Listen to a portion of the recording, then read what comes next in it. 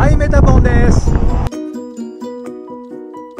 これ昨日ねハンドルカバーしなかった。びちょびちょになっちゃったで大概今までのグローブって翌日乾くとパキパキになって硬くなっちゃって結局折れ曲がったところから、えー皮が裂けるっていうことが過去何度かあってああそういう状況になるかなと思って不安だったんですけどもう今日走ったらねもう元に戻っちゃった。すごいねこれ。リップ握ってて安心感があるんだよね。よくできてる本当に。これ超おすすめ。これはね俺白を使ってるんだけどあとは赤とかブルーとか。はい。ちょっとお気に入りのグローブなんでちょっと紹介させてもらいました。これです。